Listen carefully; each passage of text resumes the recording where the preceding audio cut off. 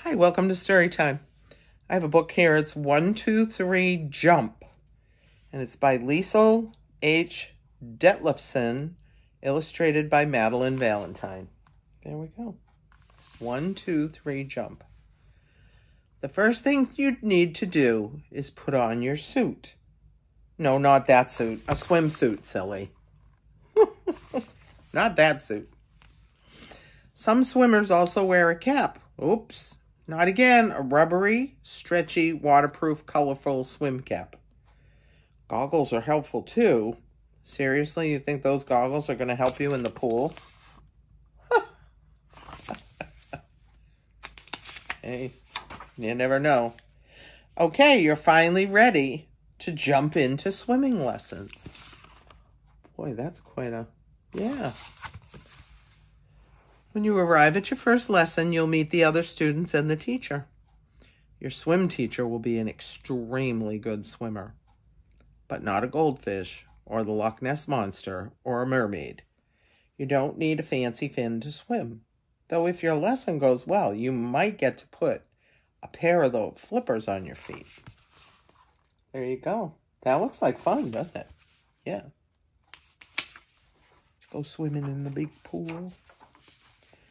Your swim teacher will begin by teaching you some important safety information, like no running around the pool, and stay on the wall when it's not your turn, and don't use your favorite stuffed animal as a flotation device. See, there's the teacher. And then, yep. Those are the rules. Can't do those. Now, one, two, three, jump!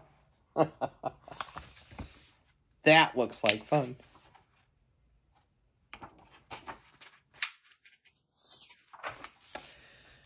You're not ready yet? No, the water isn't so cold it will turn you into a kidsicle. You'll get used to it.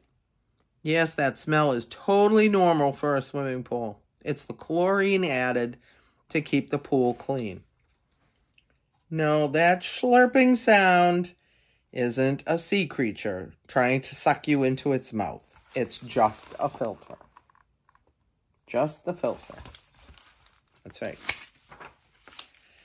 Let's start by getting comfortable in the water.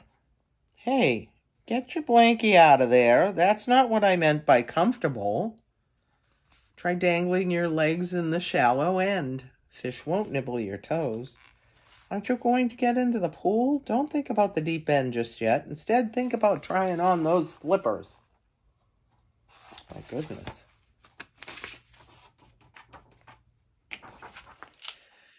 You're just not ready? Maybe you could practice blowing bubbles. No, not like that. Just put your lips underwater and hum your favorite tune. Hmm, hmm, hmm, hmm. Well done. See, they were all doing it. Yep humming in the water. Yep. Time to put your head underwater. No, the swimming pool is not home to sharks or alligators or sharkigators, even in the deep end. Thanks to those handy swim goggles, you can put your face in the water and see for yourself. And a little farther, almost there. Super! Good job, huh? Yeah.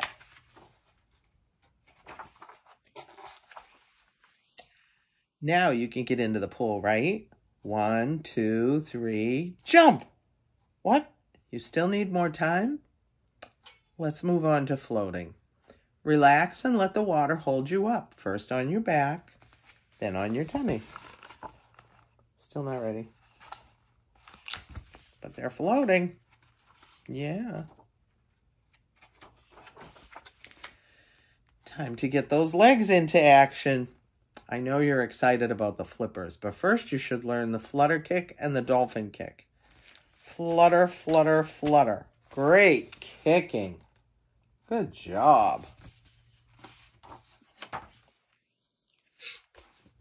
now, let's have some fun. Who can make the biggest splashes? Wow, you've really got the hang of it, but you do realize you need to get into the pool to really learn how to swim, right? Yep, can't just do it from the side. Got to get in.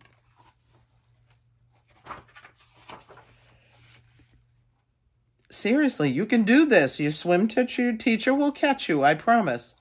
Just one big jump and then everyone can try out the flippers, okay? Let's count together. One, two, three. do you think that she's going to do it? Jump! Ta-da! Look at! Yay! Hooray! You did it! I knew you had it in you. I just knew it. Jumped right in. Flippers for everyone! Oh, yay! Those are so fun. They make you go so fast. They do. And she's floating. Look, with her flippers on. That was adorable.